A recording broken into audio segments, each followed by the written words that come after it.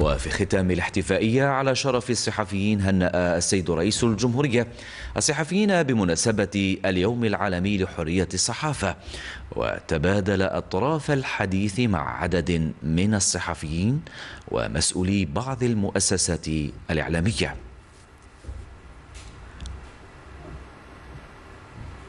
واستمع السيد رئيس الجمهورية إلى اهتماماتهم المهنية وكذا مختلف انشغالاتهم التي تخص قطاع الإعلام في الجزائر في ظل الإصلاحات التي شهدها القطاع في السنوات الأخيرة والتي من شأنها تكريس الأدوار الهامة للصحفيين في تنوير الرأي العام والدفاع عن الوطن ومبادئه.